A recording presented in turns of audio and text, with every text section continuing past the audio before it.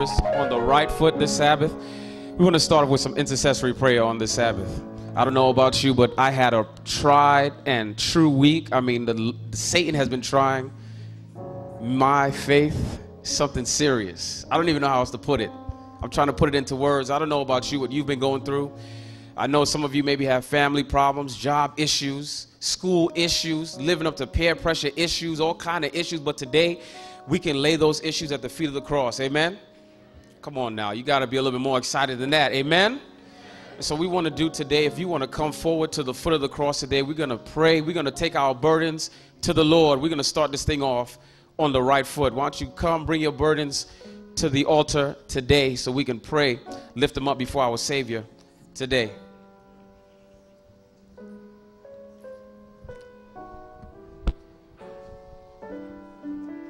That's all right. I know it's a little weird having intercessory prayer in the beginning. That's all right. We want to get it started off on the right foot. If you got something you want to bring to the Lord on this Sabbath, bring your burdens to the altar today.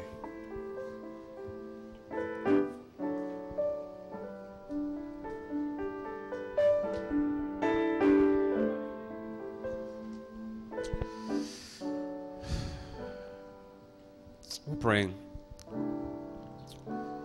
God, you are the only one who is worthy. Only your name is worthy, O God.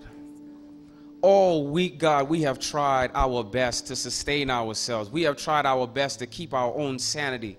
We've tried our best to put food on our own tables, God, but only you are worthy, God.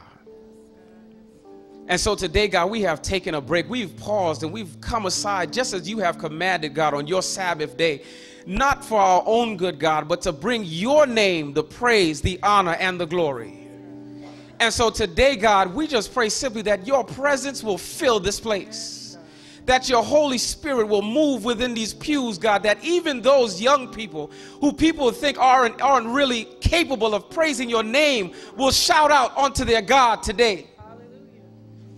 God, we come bearing our burdens, God, our troubles, God.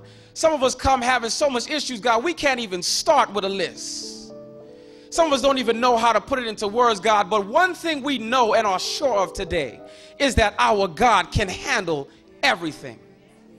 You can solve every problem, God. You can deliver from every situation. God, you can transform lives, God. And so today, we're laying everything at your feet. We're praying, God, that you will move, that our strength will be, will be strengthened today, God, that you will take even our meager praises today, God, that you will lift it up before your throne and let it be something that is worthy, God, to be in your presence. And when all is said and done, God, we just pray that nobody, God, today will leave here the same, but that somebody would have encountered your presence that somebody would have encountered this Jesus. Not that they would have heard a good word or sung good songs or listened to good music or come because they feel like they're required to come, but that they may encounter you. And when all is said and done, God, we will be careful, Lord, to give you the praise because only you are worthy. So I pray in the matchless name of Jesus the Christ. And for his sake, we pray, Amen and Amen. Amen. What you go, go ahead and go back to your seats. We're going I want to welcome you today to our camp meeting, Youth and Young Adults Slam Federation camp meeting. Come on, what? Man, I'm gonna be up here for a while if that's how dead y'all gonna be. Just gonna let y'all know. Down, I'm, I'm, i have church down there in Grand Avenue, and they'll let you know we, we get down in Charleston, Missouri. So y'all gonna have to talk to me today. I'm trying to get y'all to talk to each other. Come on, if, if you are happy to be in the house of the Lord on this Sabbath, why don't you go ahead and say amen, give God some praise on this Sabbath. That's all right. That's all right. We have exciting things planned. You know, just to say something a little bit about the Sabbath, I feel compelled. Uh, when I was uh, visiting over in Israel, uh, when I was in the seminary, I had the privilege of, of opening up the Sabbath with the Jews. You know, we, we usually look at Sabbath as something that starts at 11 o'clock and ends sometime around 4 o'clock, you know, with a little bit of food in between. I had the chance of opening up the Sabbath with the Jews at the Western Wall on the side of the Temple Mount. And I'm standing there in awe because in, in my midst are all these Jewish people from all different walks of life. I'm talking Orthodox Jews, Reformed Jews, some Jews who during the week don't even talk to each other. But here on Sabbath evening, all of them are here at the Temple Mount, gathered in the name of the Lord, worshiping God. And it is a scene like no other. It would definitely change, believe me, the way you view the Sabbath. They are dancing around in circles, they're singing songs, ushering in the presence of God into the Sabbath. And one Jewish guy comes up to me, because of course I'm a black guy, and I'm, I'm looking real out of place. And so he walks up to me, trying to explain to me the Sabbath, not knowing that I too am a Sabbath keeper. And he says to me, You know, the Sabbath for us, just listen to what he says. He says, The Sabbath for us is, is like a queen, it's a monarch. God is the king, and the Sabbath is his queen. And the Sabbath is as if the king and the queen have gone away on a long journey. And on Friday evening, they're returning to the city.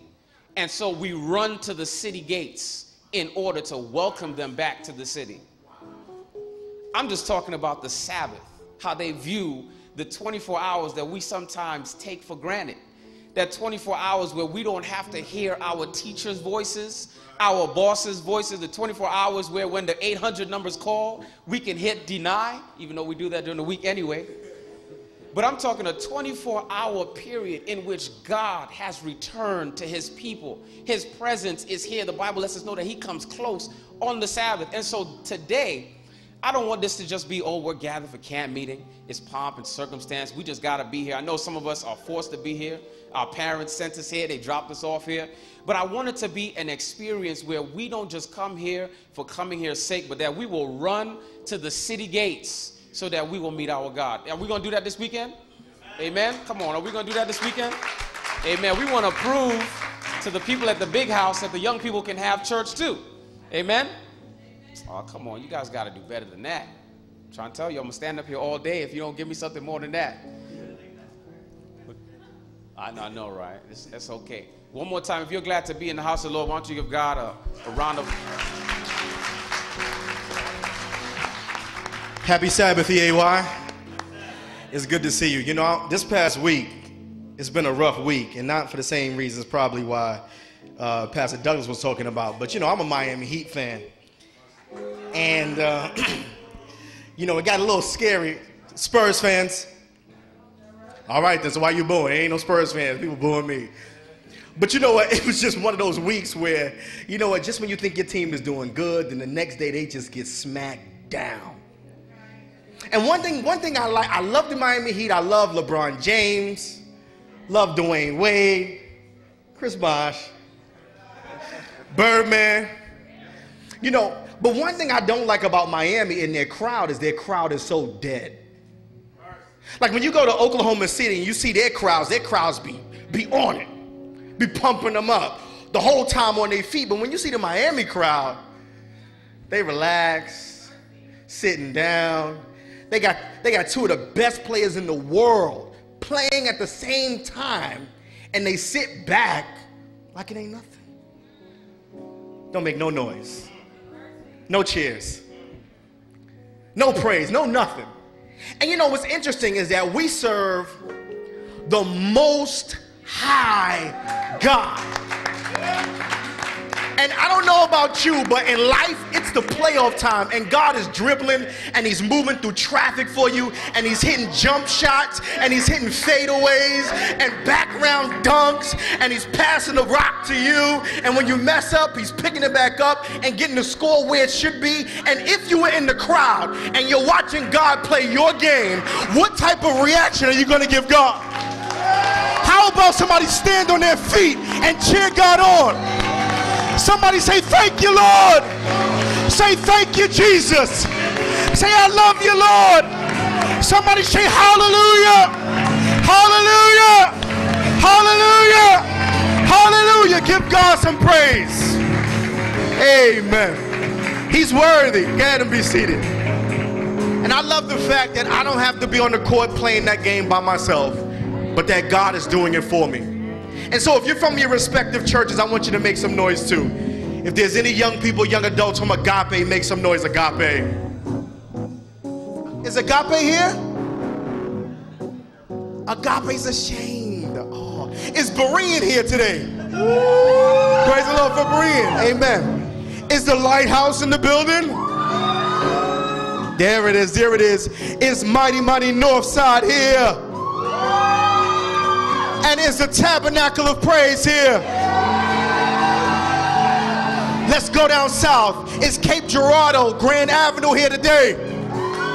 Praise the Lord, everybody. Now give it up because we create the Slam Federation of Churches. Amen.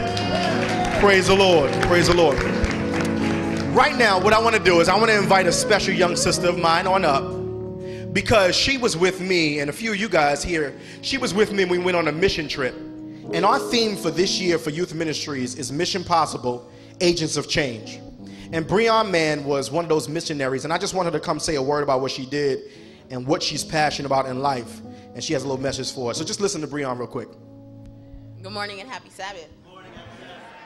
One more time. Good morning and happy Sabbath. Good morning. Amen.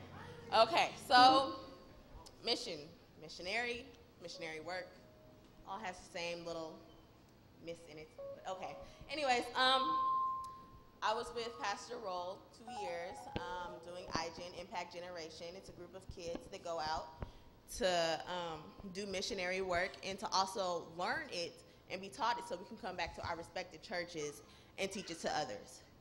And the mission, the mission trip was the two week, well week, but from there, it's a year long commitment. It's year long of going back to your youth and doing things and doing, uh, planning things.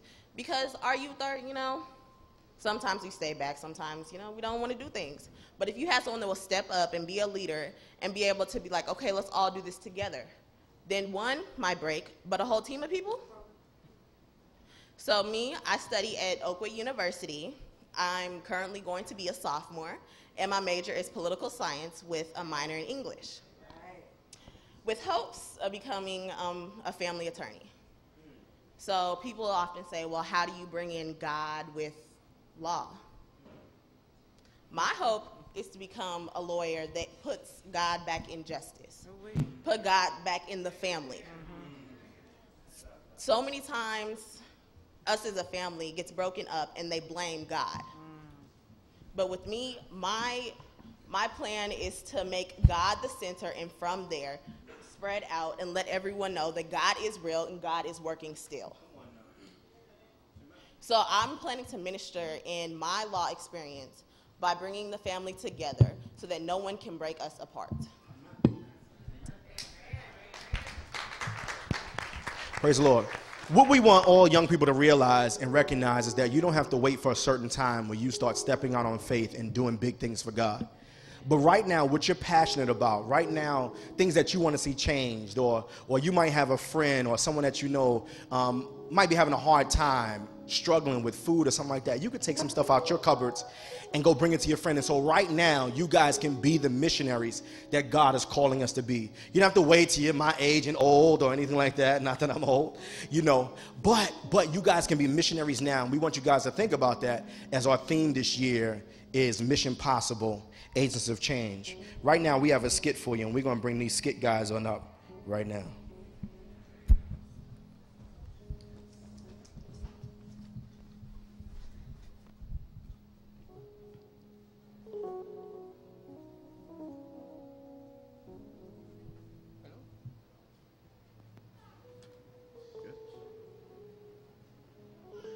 Hello? Ma? Yeah, guess what happened to your boy this weekend? Nah, nah, I'm not coming home. Nah, nah, that's not it. Yeah, yeah, I got, I'm just gonna tell you, I got saved. Yeah, yeah, I know, it was crazy, right? Like, I remember it when the pastor was preaching, it was so intense. Like, my, my hands were sweating, my heart was pumping, and my feet were tapping. I remember getting up, it was like slow motion, like the Matrix. Looked over, the guy next to me was like, Excuse me. I slid out. I remember walking down the aisle and just like hands up high and was like, Lord, please wash me clean. Take everything away from me that isn't of you. I remember walking to the altar and everything was just so just, just so amazing, like a whole new world. Yeah, that's how it happened. Yeah, yeah. Oh, well, right now I'm just I'm just um, reading my Bible right now. Yeah. Oh, hold on, mom. There's uh, somebody at the door. I'm gonna have to call you back. All right. All right. Yo, who is it? Uh, JC Cleaning Services. JC Cleaning Service. Yes. Uh, is your name Jason Brown? Yeah, it's Jason Brown, but I didn't think I ordered any like cleaning well, service. Uh, this is a full paid service for Jason Brown. Jason Brown. This is like one of the TV shows, right? Like it's like uh, hoarders, house fix up, pimp, pimp my. No, it's not pimp my ride. Well, either way, man, it's cool with me. Look, my motto is, if it's free, you got me. All right, check this out. I'm just gonna be around the house if you need me. All right. All right. Whoa, whoa, whoa! What you doing, man? Whoa, whoa! That's Keisha Booty Call Johnson. You're not moving this right here. This is a part of my life, dog. You, you can keep this here, all right? This is a little important to me. All right, you just um, you start with that stack of papers over there, something like that, right? Trying to take my picture, Keisha.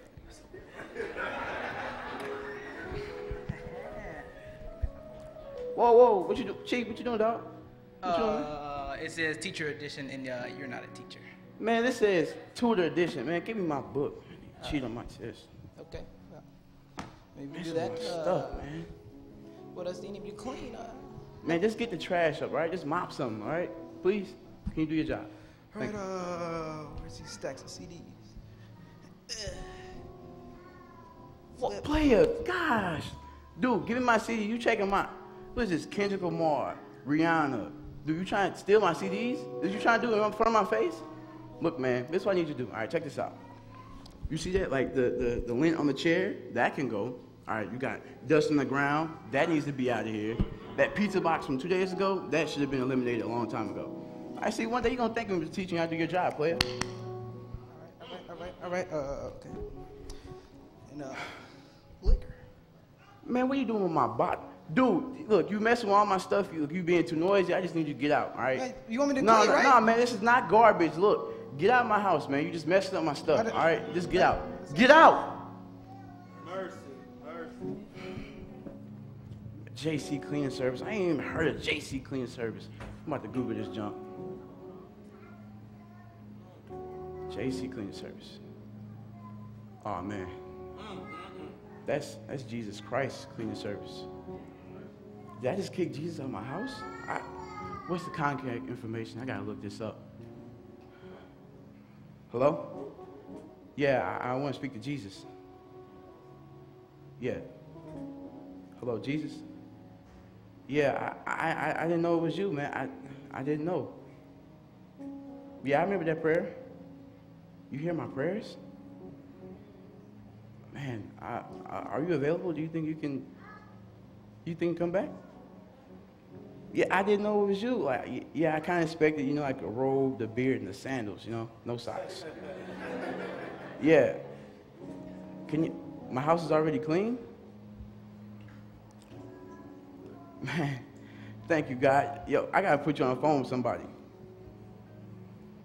Hey, Ma, you ain't gonna never believe who's on the phone with us.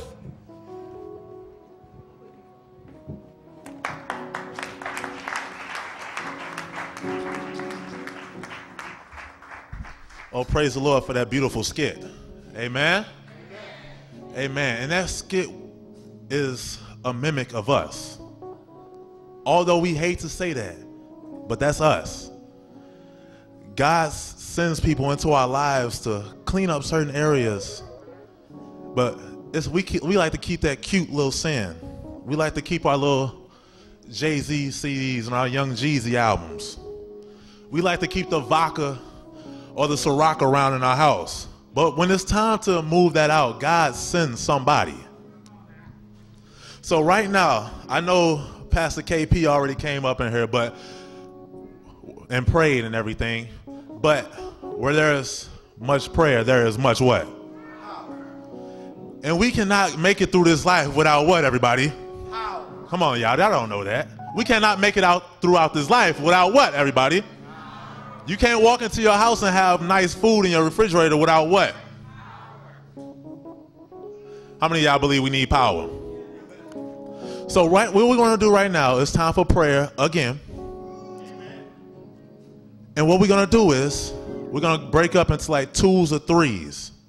And whatever the problem is in your life, we just want you to take that thing to the problem solver. Jesus Christ himself is the problem solver. He can put his hands on your problem. He can speak to your issues and he can solve that problem. So whoever you next to, just grab them and just open up to the Lord. Amen. And I'm going to close this thing out in prayer. So come on guys. Don't be shy. Father God, in the name of Jesus, Lord God, we thank you for waking us up this morning, first and foremost, oh God. Father God, we thank you for giving us traveling mercies to allowing us to get here today, oh God. Father God, you have been so good to us in the past. Father God, we, we complain about the little issues, Lord God, but our, our good always outweighs our bad, Lord. So, God, we thank you for being so graceful and merciful to us, Lord God. Father God, we are going through so much. Temptation is coming each and every way that we can look. Father God, it's hard out here and we need you. Father God, we need you like we never needed you before. We need your spirit in our lives, oh God. Father God, we we have become have come short of the glory of God, Lord God. We just ask that you would cleanse us. Send a JC cleaning service to our homes and to our hearts. Clean out the dirty corners, Lord God. Go into our dresser drawers. Go into our closets, oh God. Go into our refrigerators, oh God, where we are hiding things from your sight and take it out of our lives, oh God, even if it hurts us. Father God, there's so many young people in here today, and we thank you. Father God, there's so many young people in the world that are going through things. They don't know where to go, and they're going each and every way, and it seems that they are walking off to the cliff. So, Father God, we just pray that you will send your spirit. Use us, oh God, these young people in this church, to be a light on that hill, to follow your great commission, oh God, and to go into all nations preaching the gospel, oh God, and to be unashamed, to proclaim your name, oh God. Father God, we just ask these blessings from you today. We ask that you will continue to bless this service, oh God. Continue to tabernacle with us today on this Sabbath, oh God. We ask that you will bless the pastor today, oh God, as he breaks open the bread. And Father God, most definitely, we pray that our eyes, our ears, our minds, and our hearts will receive you today, oh God. So as he delivers your word, we pray that you will speak to him and speak through him. That somebody in this place will be saved. This is our prayer today. In Jesus' name, amen.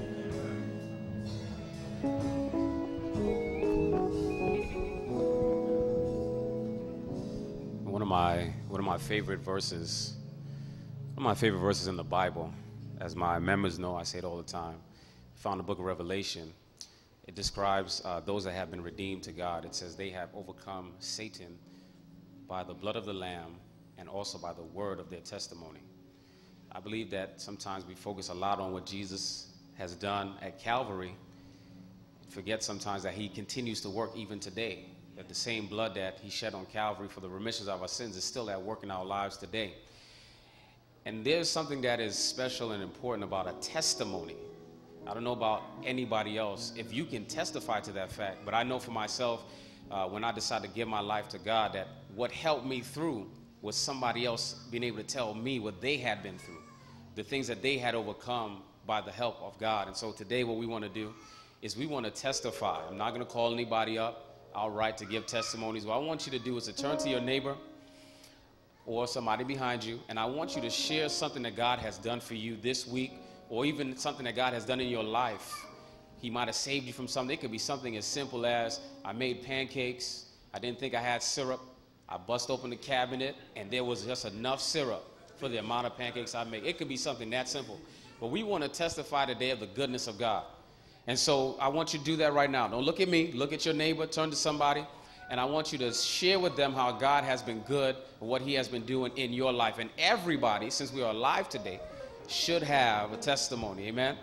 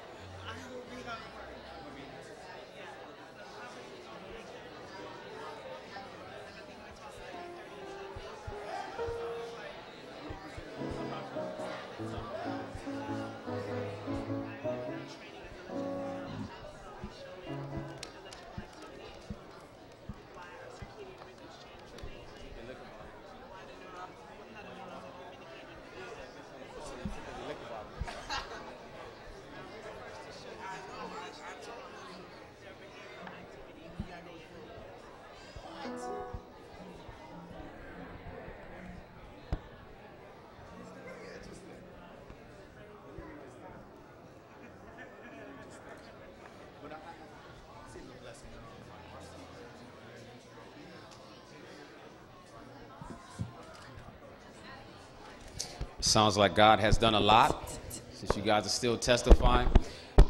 If I could get two volunteers to come up and share the testimony that was shared with you, can I get two volunteers? I need for two people to come forward and to share with us the testimony that was shared with you. I got one, I need one more.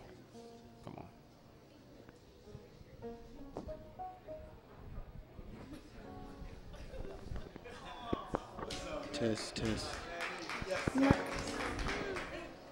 God bless me um, when I was when God bless my grandpa when he was on the road. Amen. Praise God. Praise God. Hello,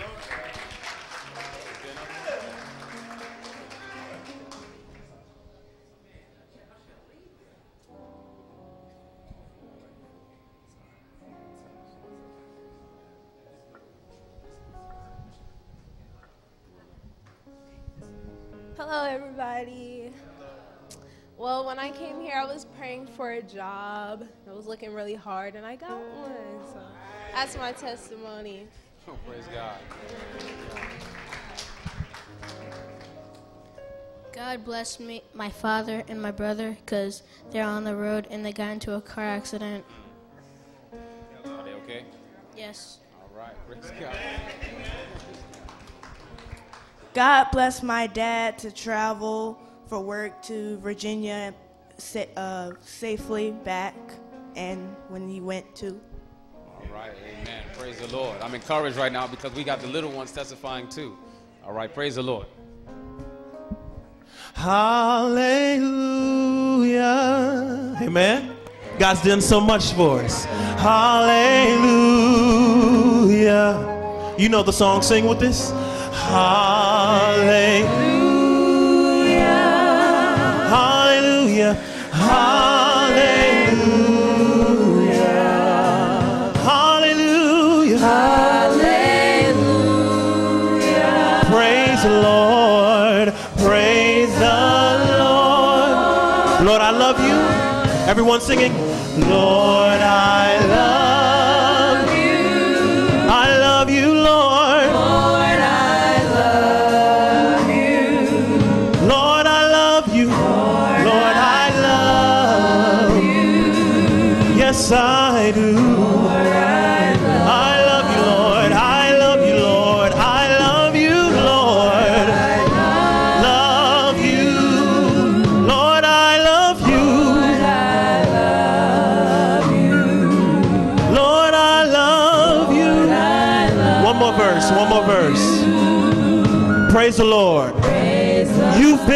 faithful, even when I wasn't. Lord, you've been faithful. Singing, You've been faithful.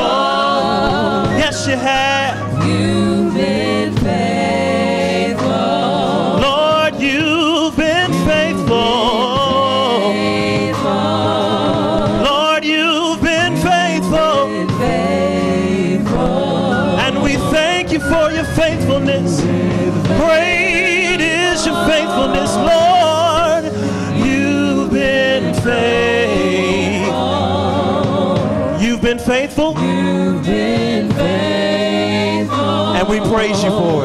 Praise the Lord. Just the audience singing. Hallelujah. Sing hallelujah. If he's done something for you, you ought to sing. Hallelujah. That's the highest praise. Hallelujah. He died for you, and now that you have a freedom to worship. So you ought to worship him with the highest word, the highest praise you can. Hallelujah. Hallelujah. Hallelujah. Hallelujah. Praise the Lord. One more time. Everyone singing, no music, no music at all. Hallelujah. Hallelujah. Hallelujah. Hallelujah. Hallelujah. That's the best I can do. Hallelujah. Hallelujah.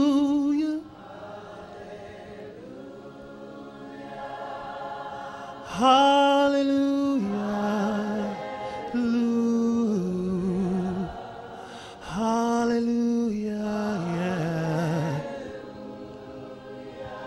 Praise the Lord. Praise the Lord. Go and put your hands together if we serve a God that is worthy of our praise. We serve a God who's truly worthy. He went and died for us, and we now have freedom to worship. How many people are happy for freedom? Y'all don't seem happy. Y'all seem like you all are still in bondage. How many people are happy for freedom? Okay, let's try this out. How many people are happy for freedom? How many people are happy for freedom? Uh, okay, we're gonna get you there. I need you all to, you know, relax, you know, a little bit. Just, you know, just let it, let it hang out. You know, it's okay. It's all right. We're here. We have freedom to worship. Okay? Y'all go to bed late last night or something? Come on, let's wake up, y'all. Come on, come on, wake up. Freedom. Let's go. Let's go. Come on. Clap. Come on, clap with me. Come on.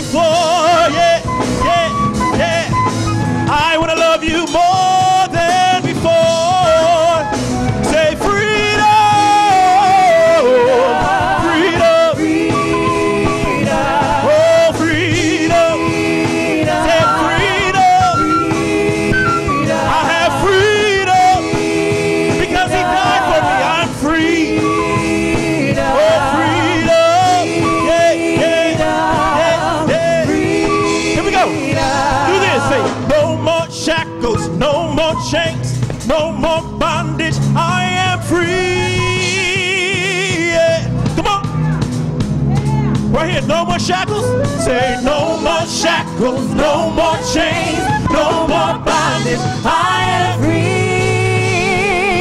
Yeah. One more time, come on. Say no more, no more shackles, no more chains, no more bondage. No more bondage. I am free. All right, one more time, one more time, one more time. I think you're getting it. No more shackles, say no more shackles, no more chains, no more bondage. I am free. no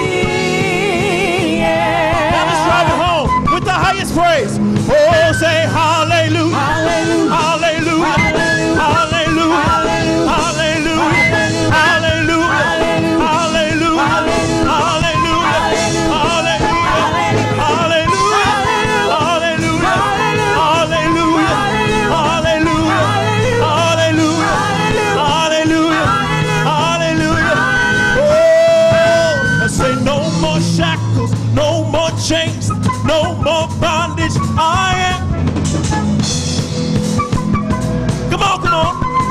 Everybody singing, no more shackles. Say no, more shackles, no more chains, no more bondage. I am free.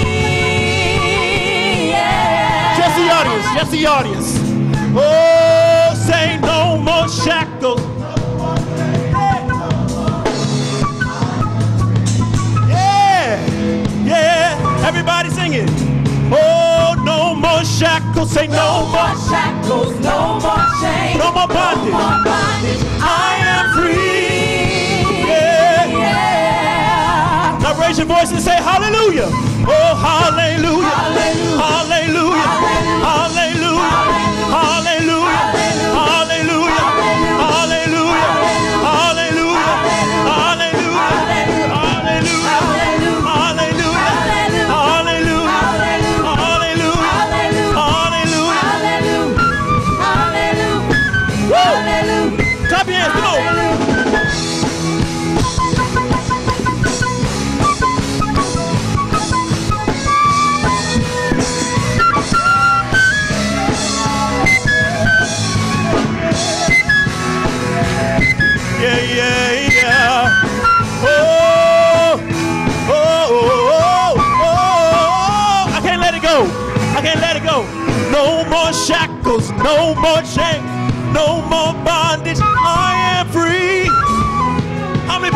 Free?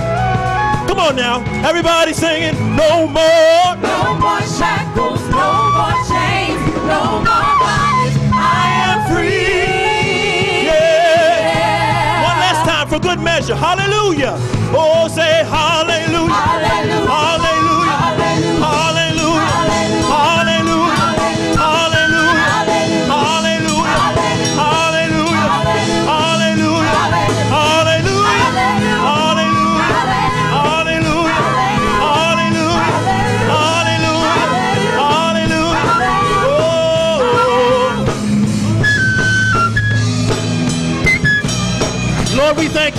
The freedom that you've given us, for dying on the cross for our sins.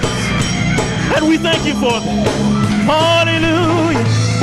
Yeah. Oh, Lord, I love you. You're worthy. You're worthy. You're worthy. You're worthy.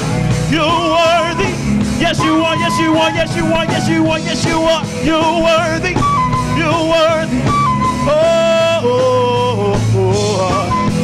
Hallelujah. Hallelujah. Hallelujah. Hallelujah. Thank you, God. Hallelujah. Hallelujah. Hallelujah. They're all connected. Hallelujah. Hallelujah.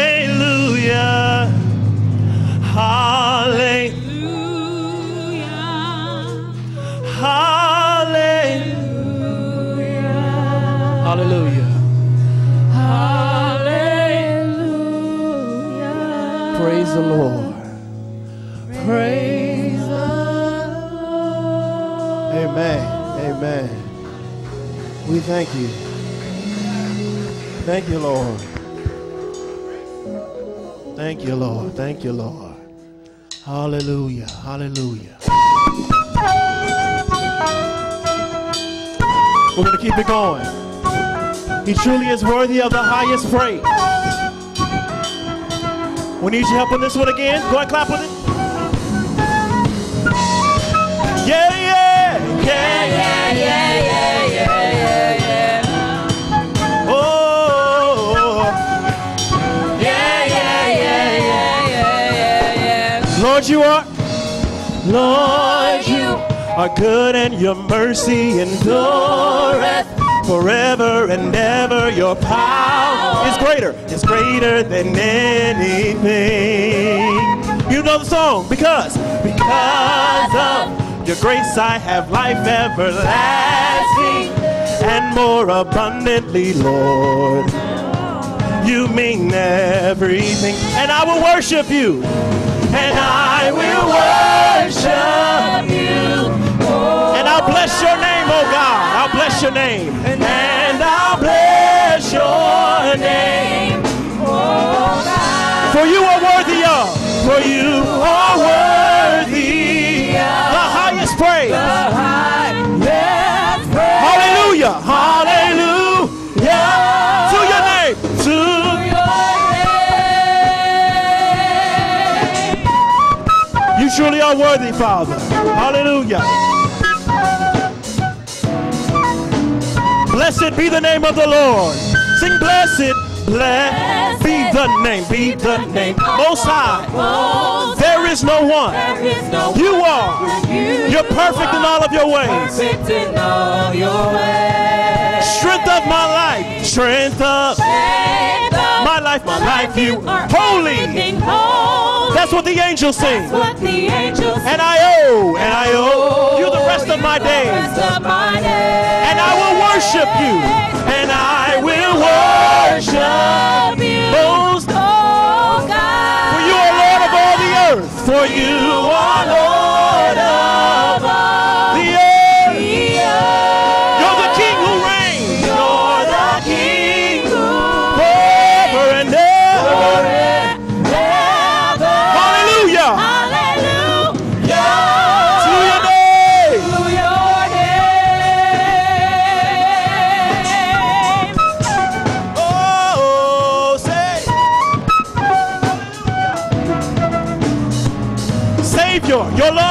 Love has lifted me. Savior, Savior, your love has lifted. Master, I live for you totally. My heart is now and forever yours. Jesus, Jesus, the name above every name. King of kings and Lord of lords you reign. And the devil, and the devil is defeated today. Every soprano singing.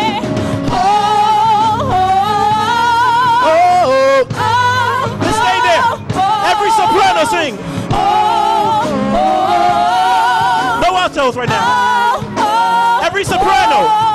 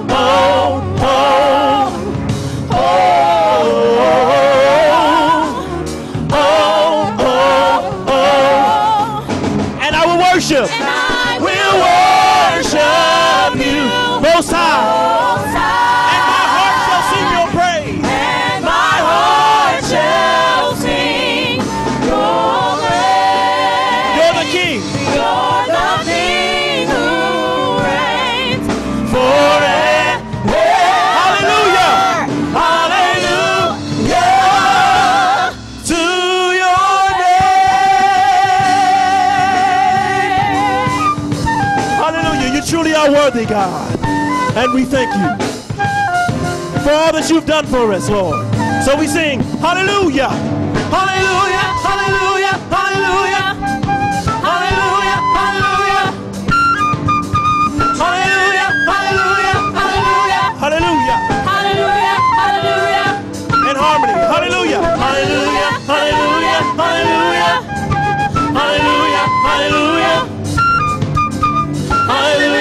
Hallelujah, hallelujah, hallelujah. Hallelujah,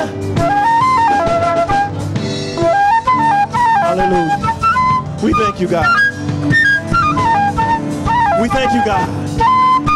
Truly, you are worthy. And we thank you.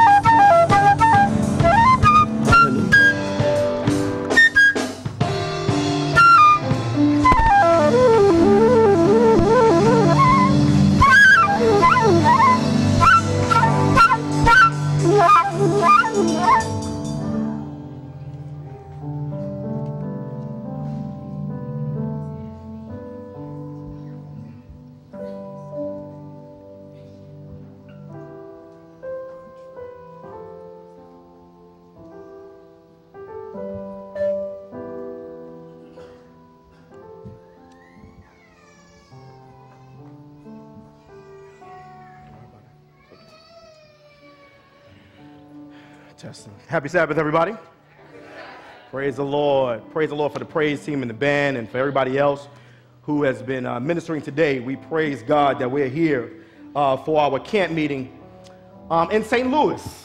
It's a little bit different than our previous years going to Kansas City and meeting all together, but nonetheless, it's good to come together as brothers and sisters, particularly speaking as youth and young adults, to magnify God. We don't always get to do this, and so we treasure it when it happens. Amen?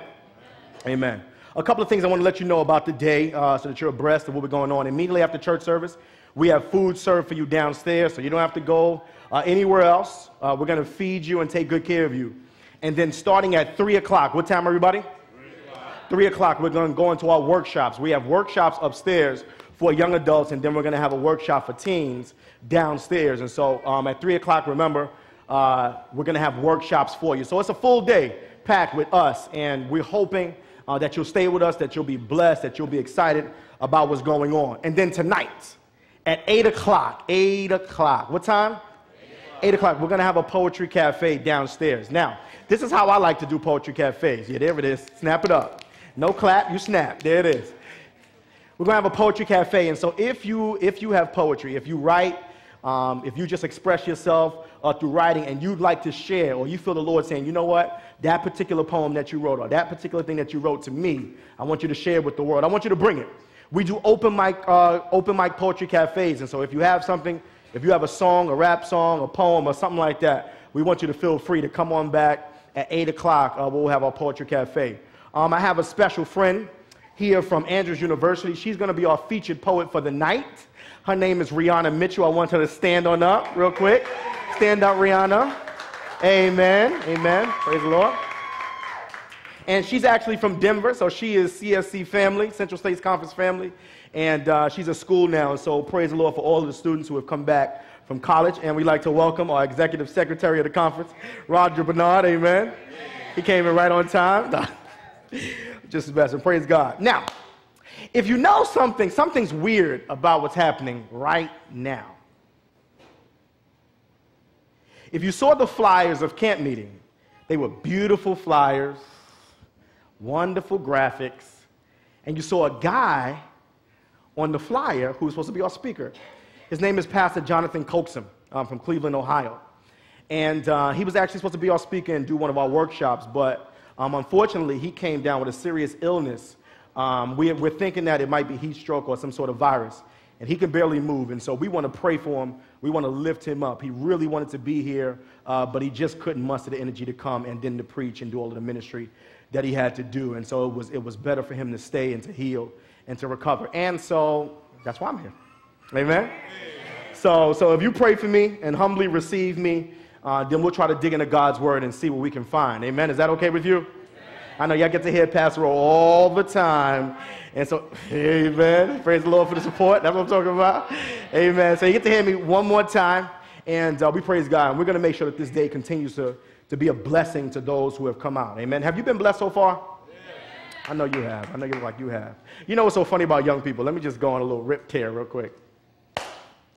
When I was growing up, I'm talking about me as I'm talking about you. You know, growing up, 14, 15, I used to say, my church is so boring. My church is boring. They don't have anything for the young people, especially the music. I was like, man, man, if we just had good music, church would be on and popping. And then guess what? I went to Oakwood College. And I got there, and the music was on and popping. It was everything that I dreamed of. Drums were nice and loud. Folks were singing contemporary songs. Looked like Kirk Franklin, Fred Hammond, everybody up there all at once. Huh? And Marlon, with Kirk Franklin and them. And do you know what I noticed? I was not prepared for praise and worship, meaning I didn't know what to do with it. I had everything I wanted, and then I sat there and was like, and folks was like, clap your hands. I was like, I've never done that before. Somebody was like, just lift holy hands to God. And I was like, I don't know how to really do that. And what was funny that I had to learn is that I had to, I had to grow and to learn that it's okay to magnify and to praise God. For so long, I was worried about what my friends were going to think. Oh, you look stupid, dog. You with your hands on up looking all emotional. Nah, but I recognize that you know what? God and what He thinks is way more important than what my friends think. And then I began to worship freely and to give God the praise and the adoration that He deserves. Amen? Amen. So don't be afraid to praise and to give God mag- magnify Him and worship Him. We're going to bring the praise team back after I'm done. I'm not going to be long, I promise. We're going to bring them back, and uh, they're going to they're gonna magnify God one more time. And we want you guys to not only look at them, but to lift God up because in, in the house of God, there is only an audience of how many? One, one, one. God is a spectator. If you have your Bibles, turn with me to Luke chapter 19. Luke chapter 19. Interesting story. It's something that you've read over and over and over again. And we're going to do that today. Luke chapter 19, we're going to read verses 1 through 10. When you have it, say amen. If you don't, say, Help me, Jesus. If you didn't bring your Bible, say, All is lost. yeah. yeah, I know. Yeah, you need, you need to get next to somebody who has a Bible so you can read along with us. There it is. Let's pray before we read God's word. Father God, in the name of Jesus, Lord, we're looking for something new, brand new in our lives. Father, everything is somewhat the same in our lives, which is partly the reason why we have a hard time changing. And so we're asking that as we open up this passage of Scripture, that it would do something new to us. We don't know what. We know the areas of our lives that need to change, but we haven't figured out exactly how. And so if you're able to pour out your grace to get us there right now, I'm asking that you would do that. So fill this place with your presence, God. It's our prayer in Jesus' name. Everybody say, Amen. Amen. I'm reading from you to you from the NIV. The Bible says Jesus entered Jericho and was just passing through. A man was there by the name of Zacchaeus. He was a chief tax collector and he was very, very wealthy. He wanted to see who Jesus was. But being a very short man, he could not see him because he couldn't see over the what? The crowd. And so this is what he did. So he ran ahead and climbed up a sycamore tree since Jesus was coming along that way. And when Jesus, verse 5 says it like this when Jesus reached the spot, he looked up and said, Zacchaeus, dude, come down immediately. Today I must come to your house. So he came down at once and welcomed him gladly. All the people saw this. They began to complain and murmur. Jesus is going to his house to be the guest of a sinner? Do you know who that dude is? But Zacchaeus stood up and said to the Lord, Look, Lord, here and now I'm going to give half of my possessions to the poor. And with the other half, if I've cheated anybody out of anything, I'm going to give fourfold the amount back to them. When Jesus heard that, he says, Wow. Today, salvation has come to this house because this man too is a son of Abraham. For the Son of Man has come to seek and to save that which was lost. If you're like me, you love these competitive reality shows. This is The Voice, American Idol, uh, X Factor, America's Got Talent, Country Music Star, and all the other ones that you can think of in terms of these competitive reality shows. And what's most interesting about the show is not necessarily who's gonna win, but it's really when folks start out what they look like. The things that they do to be seen. I mean, you got folk who think they, they can sing and they really can't sing, and you got folk that think that they can dance and they really what? Can't dance. Folk think they got talent and they really don't have yeah.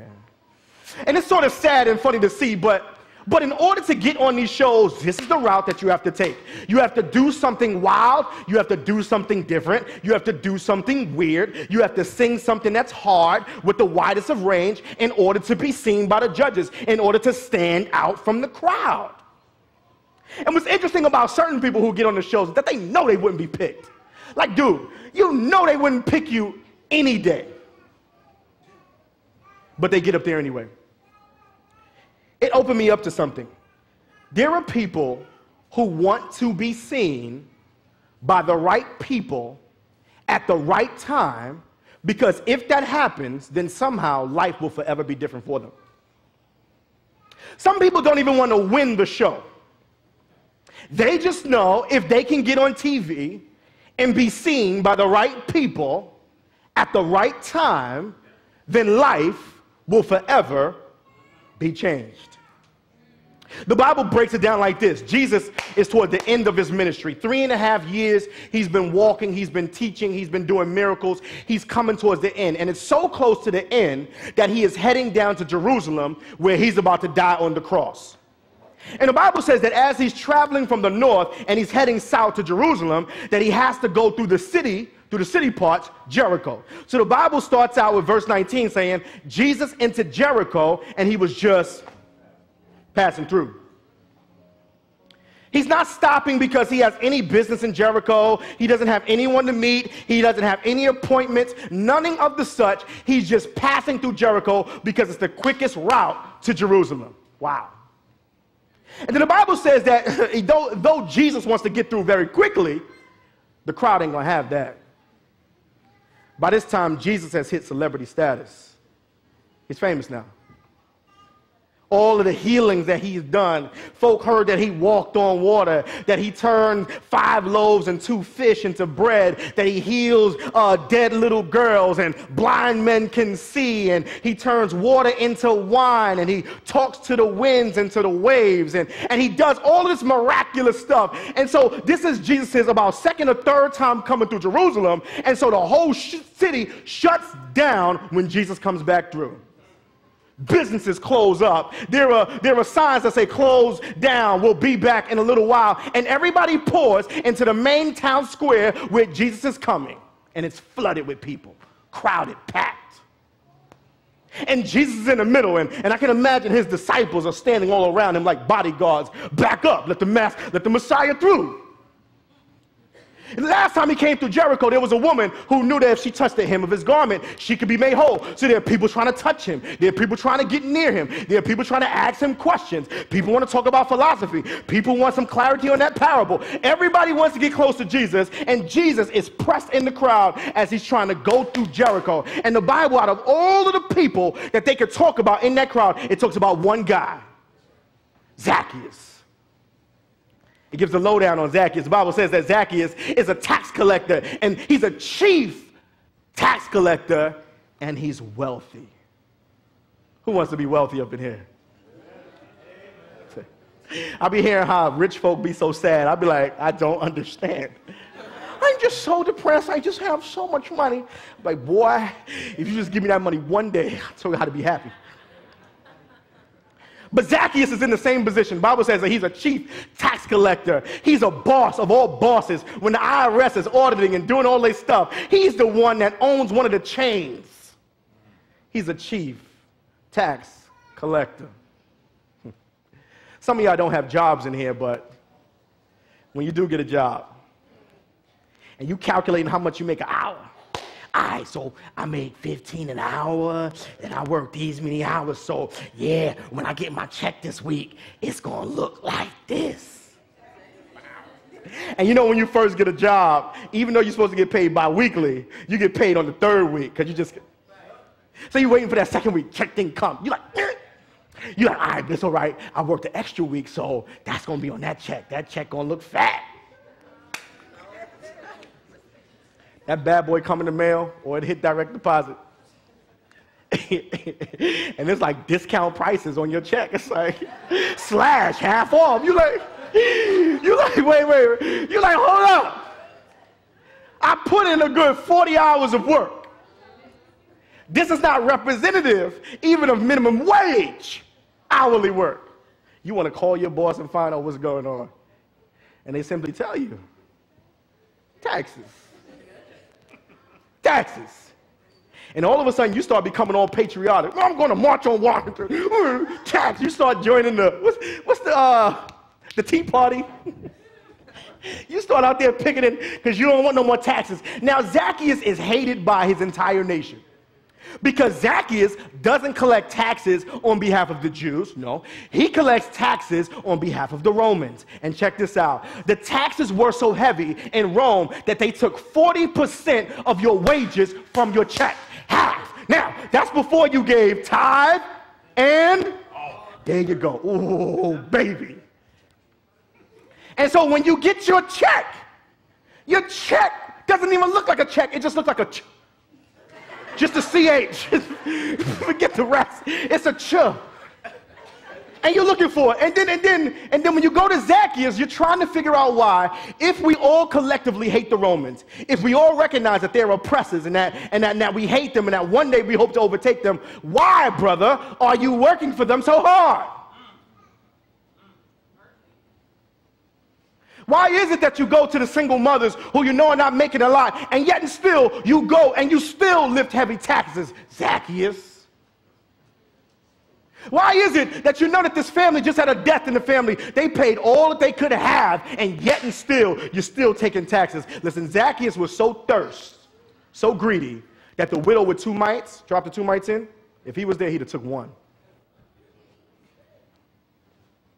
And Zacchaeus, the Bible says, wants to see Jesus. Corey, he wants to see him. Now, why he wants to see him, we don't really know. The Desire of Ages gives a little blurb about it. She says that Zacchaeus, even with all his money, wanted a better life, end quote. He wanted a better life. He had a lot of money. He was very rich. He had power. He had authority. He had all of that stuff. But the Bible says, with all that he had, he still wanted a better life.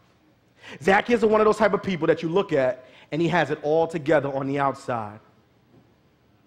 But the Bible reads his heart and it says that there is something yearning in him. He wants a better life. He's like many of us. Most of our stuff is straight. But our spiritual lives is not as straight as the external life. Clothes look nice, snapbacks are fitted, in style.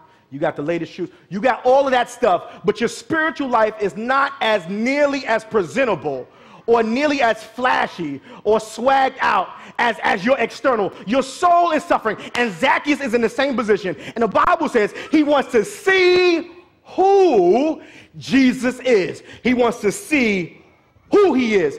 Now, Zacchaeus is interesting because Jesus has been through Jericho before, but he never thought about going to see Jesus. Jesus was there when Jairus' daughter died and he raised her from the dead. He was there. Zacchaeus lived in town, didn't bother to go see him. He was there. He was there when the, women, when the woman touched him with the issue of blood. That was in Jericho too. Zacchaeus didn't care about going and seeing Jesus then. But something in his life is happening now where all of a sudden it's very important to see Jesus. Yeah. And there's something different about Jesus because a tax collector was not allowed in church.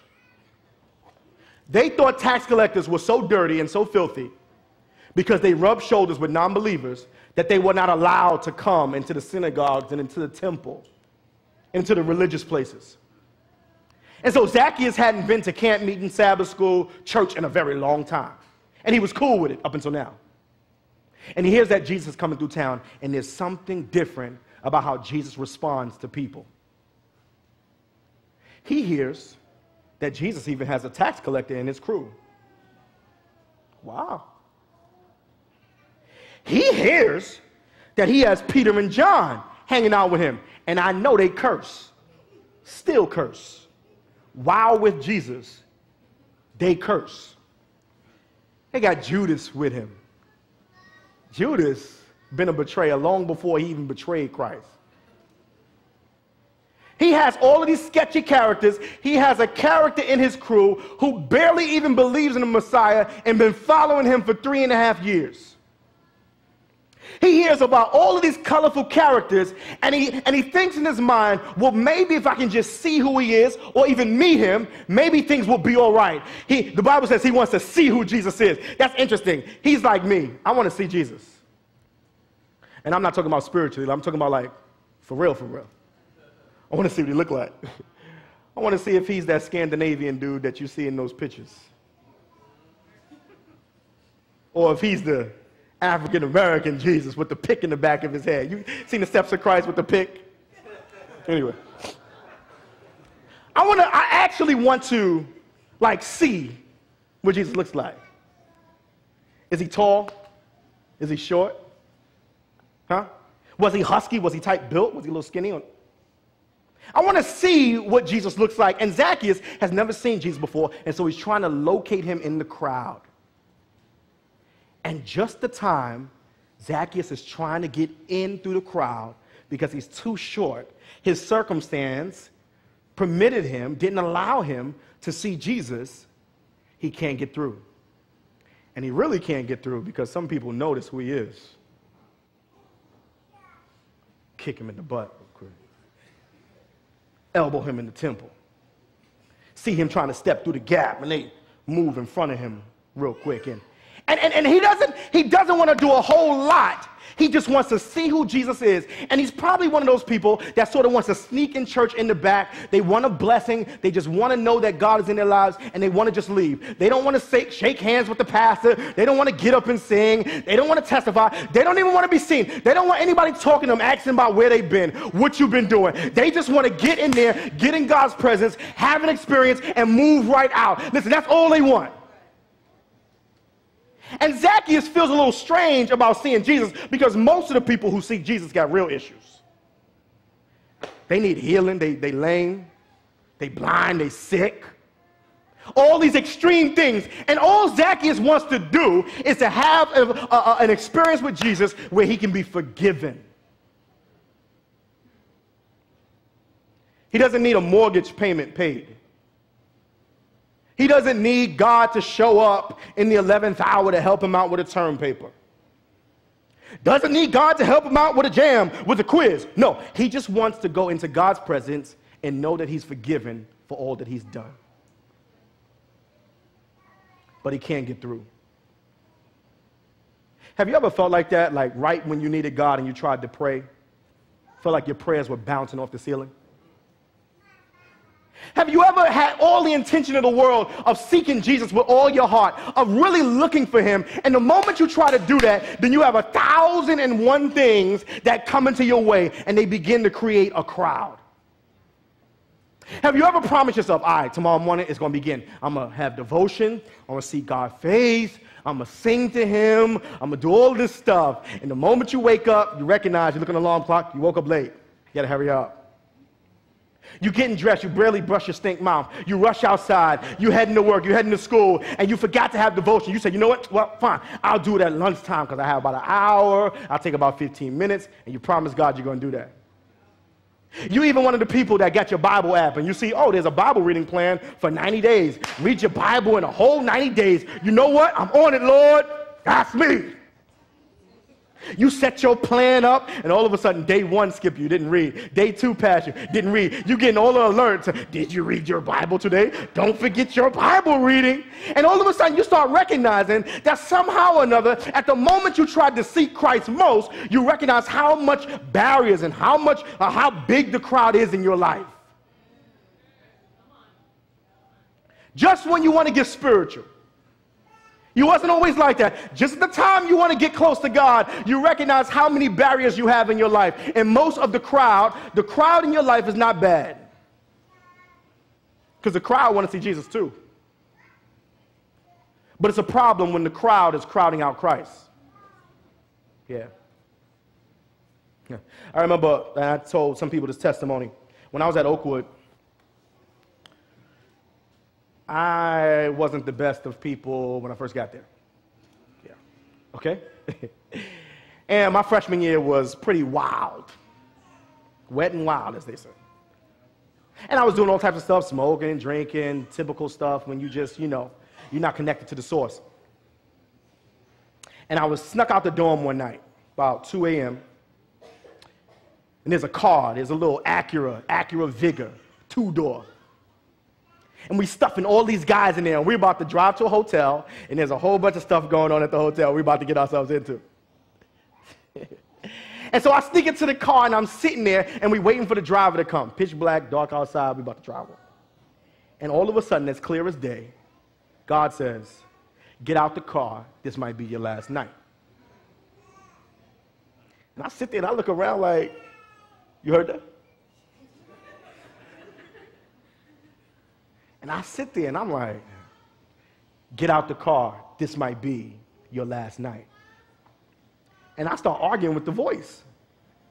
I'm like, I can't sneak back into a dorm I just snuck out of. Can't happen. Don't work like that. You get out, you come back in the morning, with open hours. Voice said it again. Get out of the car. This might be your last night. Now I'm squished in the back of a two door coupe. Squished in the back. And all of a sudden, I start to respond to the voice that's talking to me inside. You need to get out the car. You need to go back inside your room. This might be your last night. And I'm sitting there and I'm getting shook.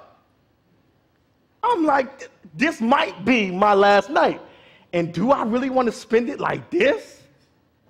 All hazy and dazed out? Nah. And then I say to my friends in the car, I say, I gotta, let, let me out, I gotta go. Now they like, no. You're gonna get us all in trouble. And I'm like, you gotta let me out, let me out, let me out. And they're like, you're gonna get us in trouble. And I get out the car and I walk back to the dorm and I say to myself, well, this is the day I get kicked out. And I walk up to the dormitory door, Peterson Hall, and I look the dean in the face. He looks at me. It's past curfew. He's supposed to write you up. He looks at me, buzzes me in, waves, smile, and I walk back to my dorm room. And I say, that's miracle number one. And this is how I gave my life to the Lord. It wasn't a big appeal. It wasn't a preacher. It wasn't a big church service. Music wasn't playing. Right there in my dorm room that night, around 2 some a.m., I got down on my knees and I just confessed my sins. And I said, God, you need to take me right now. I had all pictures of DMX, Tupac, Biggie, Mase, all of that up there. I began to rip them down, tear them down, got on my knees and prayed. And from that mo- moment on, I've just been walking with him. And one thing I recognize about seeking Christ is oftentimes you have to separate yourself from the crowd in order to get close to Christ. This is what Zacchaeus does. Zacchaeus says, I can't get through the crowd, so I need to run ahead of the crowd, climb up the tree, get to a point where my vision of Jesus, listen to me, where my vision of Jesus cannot be hindered, where I can see him. Ah, your boy Zacchaeus does it. Little short legs, he runs to the tree, climbs up the tree, gets to one of them low hanging branches, and he waits. And he can see the procession of Jesus. And Jesus is touching little babies, and he's talking to folk, and he's shouting hallelujah, and they're singing Hosanna because he's about to go to the cross. Only a few people in that crowd really know what Jesus is about. Yeah. And Jesus is walking through real slow, and the procession of people is moving this way, and he can see the small character of Jesus in the middle of the crowd, and Zacchaeus is looking. The Bible says that when Jesus gets to the tree and he's walking with the crowd, then all of a sudden he stops. And the crowd's trying to figure out what's wrong. The last time somebody did this, Jesus stopped and said, Who touched me? Who, who, who touched me? And everybody like, I ain't, I ain't touch, I ain't touch. Jesus stops again. And they're looking for the woman with the issue of blood, but she already healed. He stops and everybody gets quiet, and all of a sudden, Jesus begins to compute that something in this vicinity square, right around here, needs me. Someone right around here needs to know who I am. There is someone in this place right now. The Bible says Jesus reached the spot. Somewhere right here, somebody has come looking to see if I will forgive them. Somebody wants to know if I truly love them. Someone wants to know if I will heal them. Someone wants to know if they can have a better life right here, right now, somewhere inside. And so Jesus starts looking around.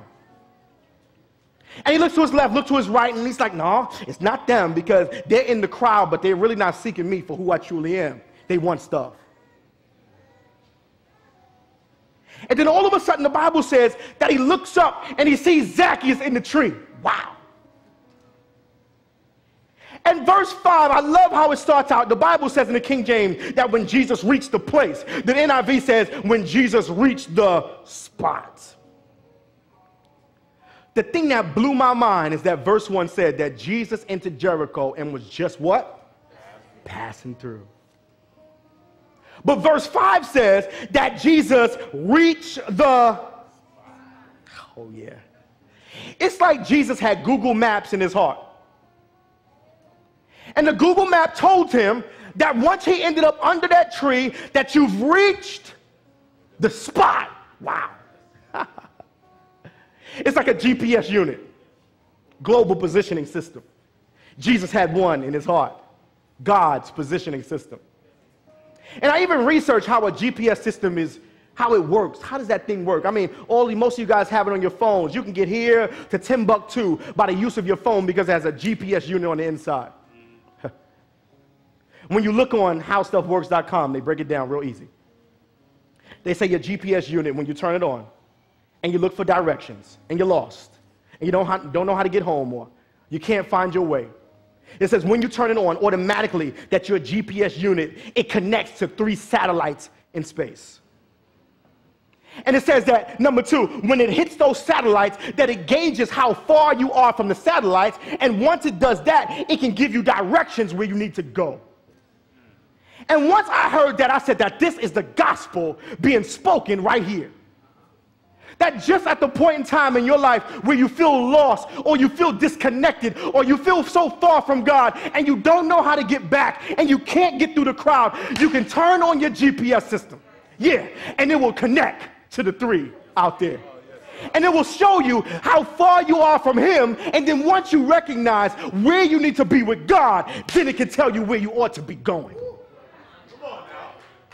And the Bible says that when he gets to that sycamore tree, that Jesus had reached his what? Spot. There it is, baby. Yeah. The world thought that he was just going to pass through.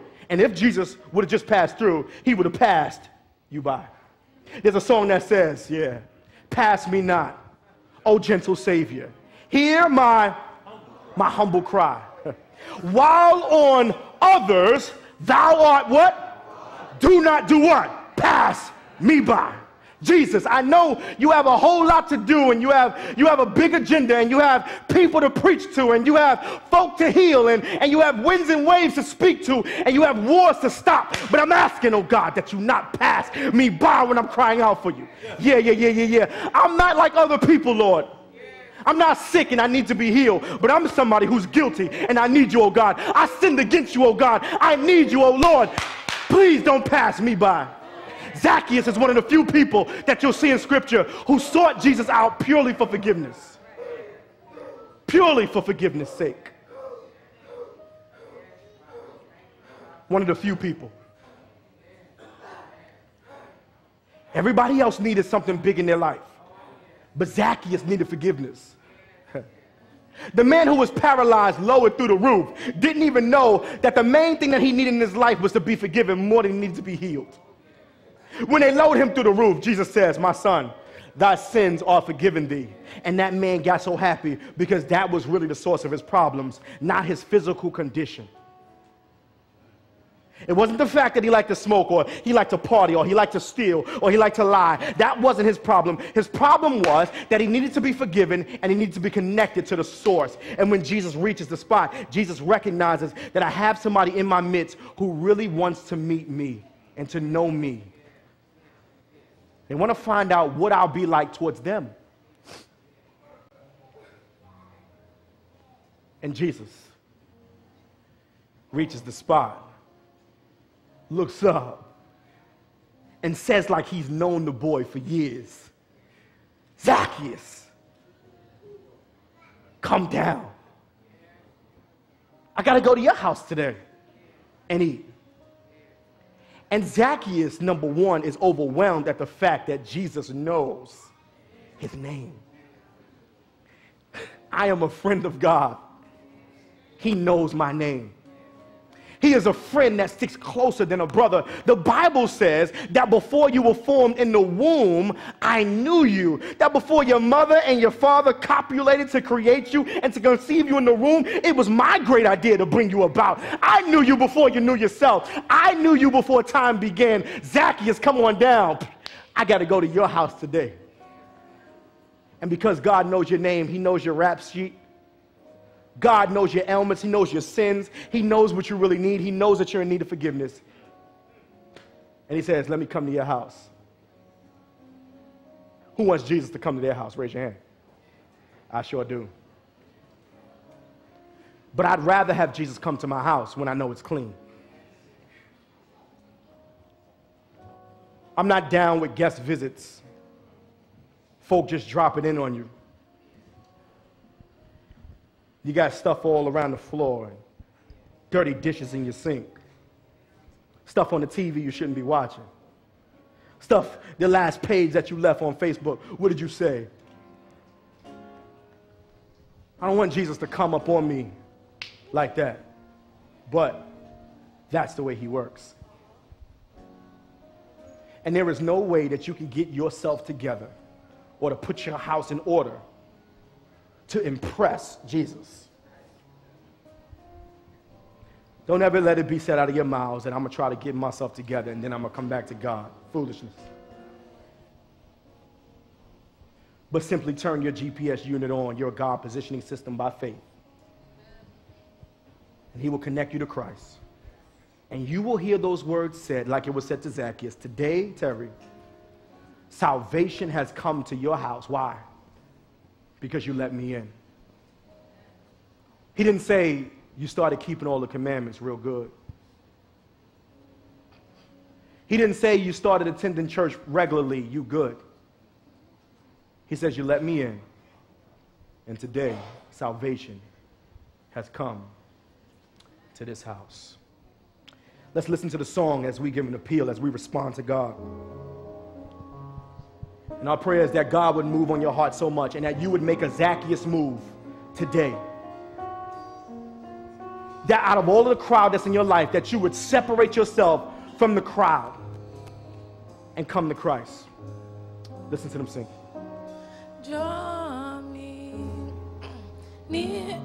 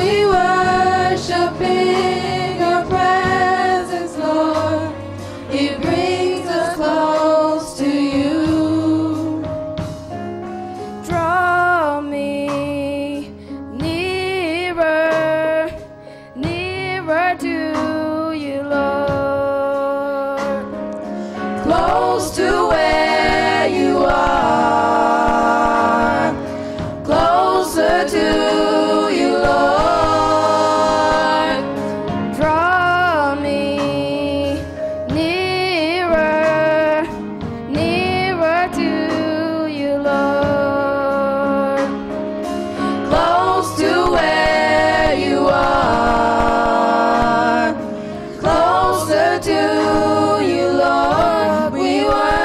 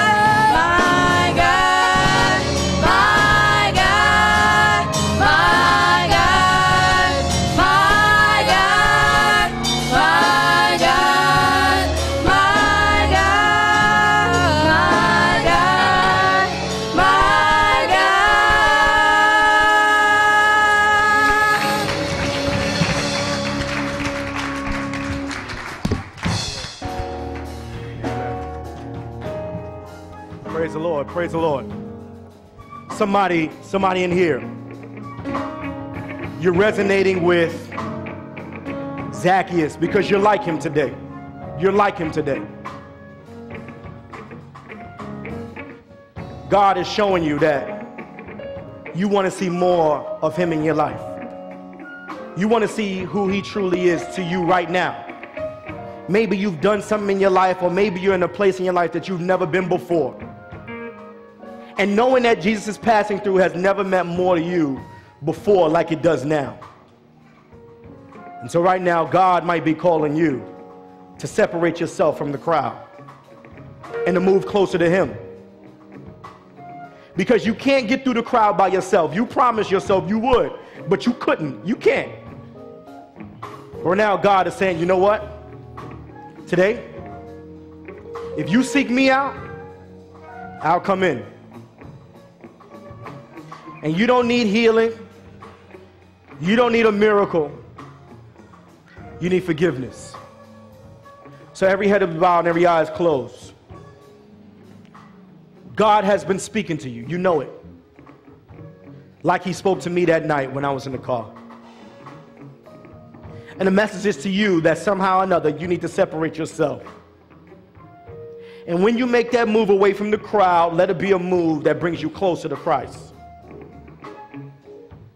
And I want to know if you're in here today. If God is calling you right now, I want you to be so bold. Nobody's looking at you. Because everybody who's okay, everybody who's safe, everybody who's good, everybody who's righteous, they're praying and sitting down. But if you know you need him like Zacchaeus needed him that day, I want you to stand up right now. Is there anybody right now? Come on down. If there's anybody else like that, if there's a young person, you're saying, you know what? Today I need you. Right now, come on down. Come on down to where I am. I want you to move from out of the pews. Come on now. There's somebody else. The Lord is calling you. And He's saying it's time to move away from the crowd to do something drastic in your life. And one of the drastic things right now might be for you to come up out of your seat and to come close. Is there anybody like that? Praise the Lord.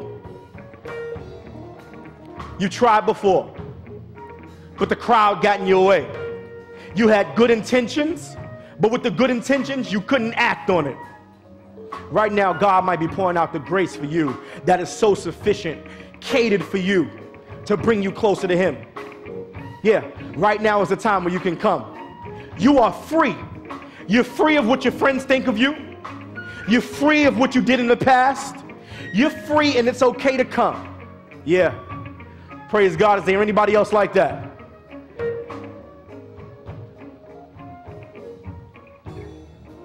Is there anybody else like that? Don't want to close it before it's time for you to come. Praise the Lord. I know that they're coming. Amen. If you're feeling like you should come, if God is speaking to you and you're saying, Lord, are you speaking to me? Why do I feel like this is for me? Why is He speaking to me only? It's for you. Right now, come. Praise the Lord. Everybody else who's okay, everybody else who's straight, they're sitting down and they're praying for you. Is there anybody else like that? Praise the Lord. I want to be closer to you. It's a song of our hearts. It's a meditation on our minds today. Oh God, bring me closer to you. And by faith, I, I believe this with all my heart that by faith right now, that the, the Lord is in our midst through the power of the Holy Spirit. And that right now, for those who are standing, those who have come, God, with a big God eraser, is erasing everything that you have done out of your life. That stuff that you thought that God couldn't forgive you for, right now He's erasing it. He's removing it. Let us pray, Father God, in the name of Jesus. Right now, those who are standing are those you were longing for and yearning for and calling for, and you didn't pass them by. Praise your holy name. I thank you, O oh Lord, that, that you stopped in this spot today. That you're passing through and time is passing by and that you're on your way for the second coming, but you stopped by here today, O oh Lord, and you redeemed somebody. You've forgiven somebody. And we are all in need of great forgiveness. It's our prayer in Jesus' name. Let everybody say, Amen. I want you to follow Pastor Corey to my office real quick. He's just going to pray with you. He's going to pray with you, and if you have any other need, he's going to get it. So follow him right now, everybody. Those who are standing.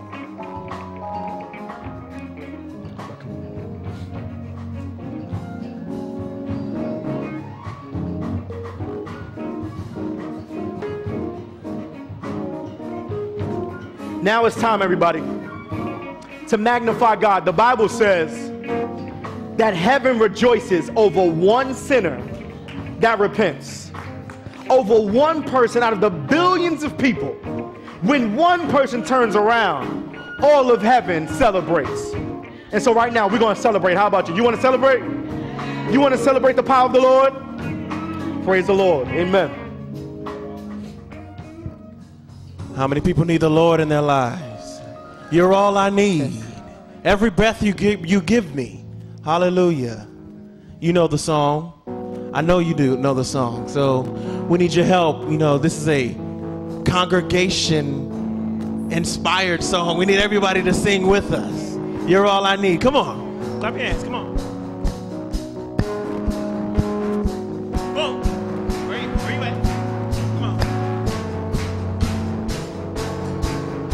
Everyone singing, You're all I need. You're all. You're all I need. Every breath. Every breath you breathe through me. You're all. You're all I need. Let your rivers Let flow. your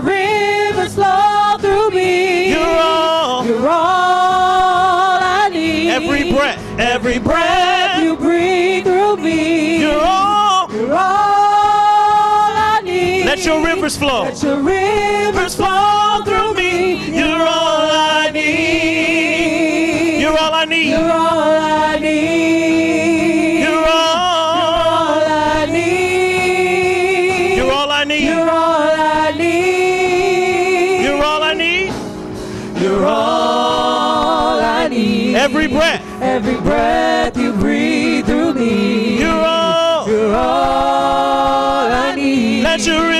your flow. rivers flow through You're me. all I need. You're all I need. Every breath. Every breath you breathe through me. You're all I You're need. all I need. Let your rivers Let flow. your rivers flow through me. You're all. You're all I need. You're all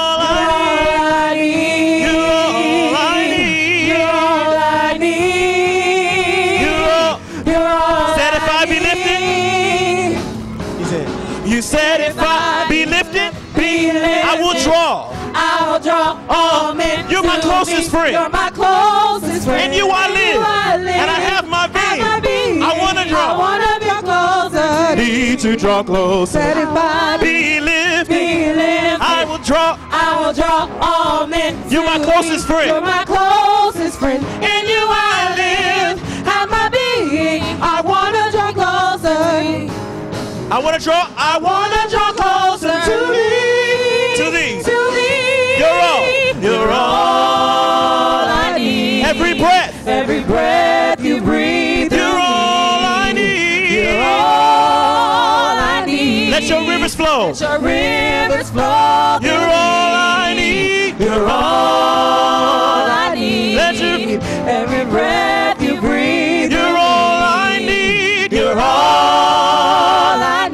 Let your rivers flow. Let your rivers flow. You're all. You're all I need.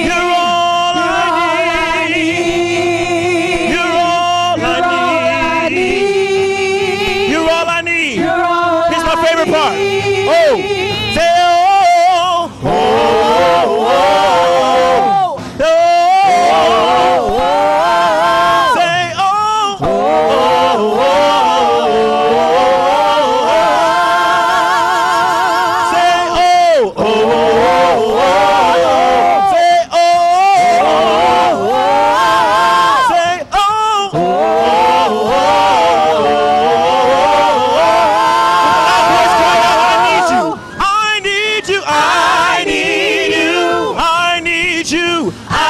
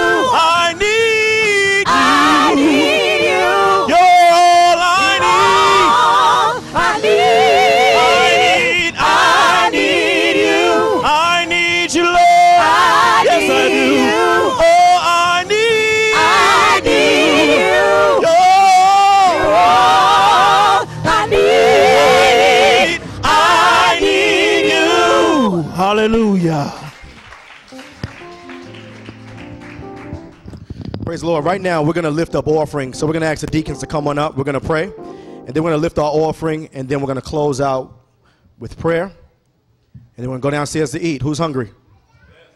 Praise the Lord. It's all right. It's all right.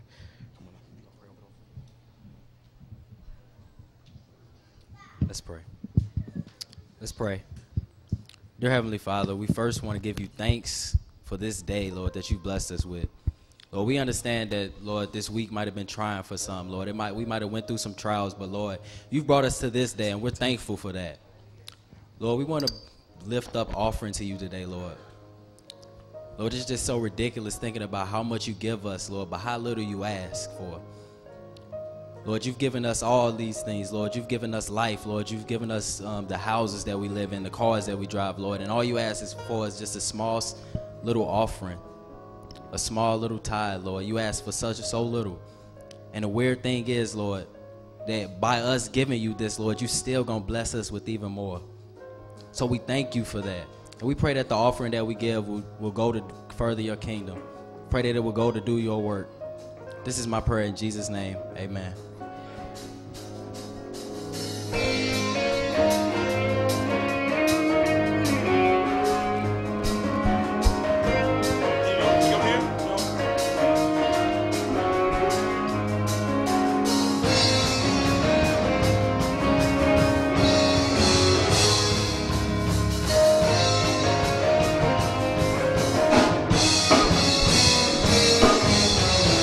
My desire is to please you. My desire is to please you. Somebody help me say, My desire is to please you. My desire, My desire is to please you. So, so here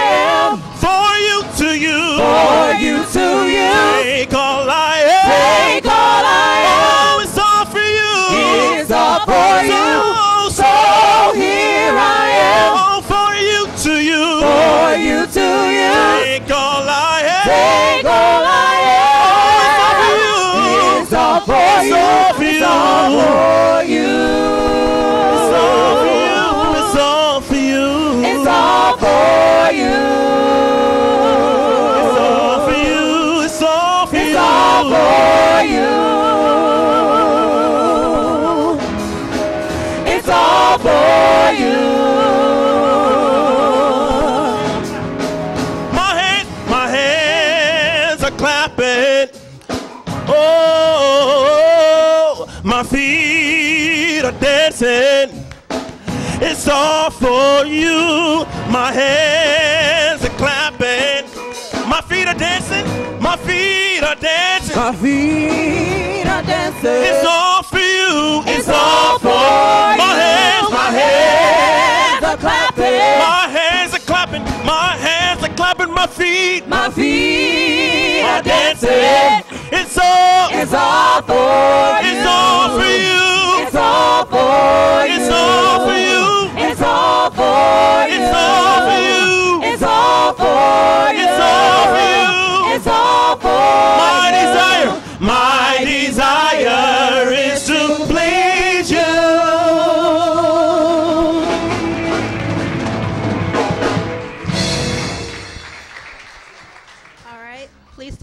Our closing prayer.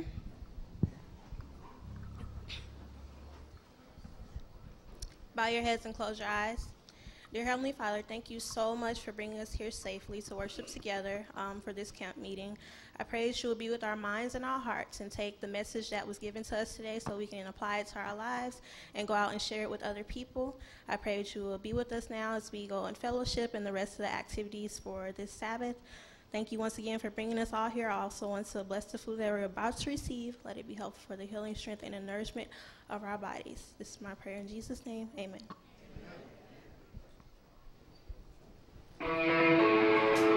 I'm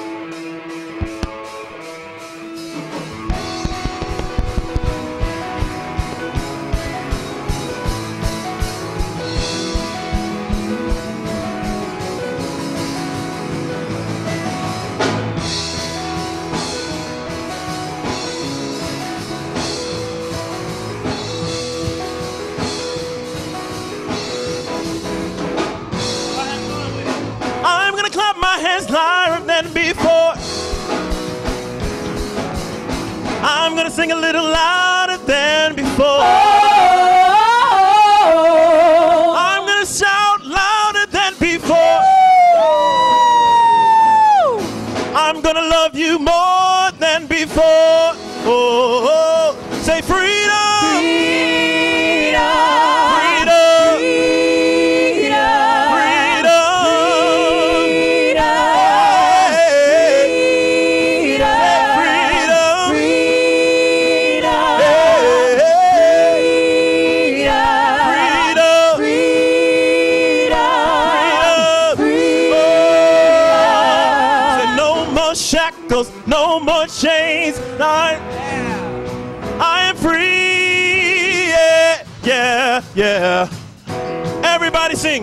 More shackles. Say no, more shackles, no more chains, no more bondage. I am free. Yeah. One more time, sing, no more shackles, no more shackles, no more chains, no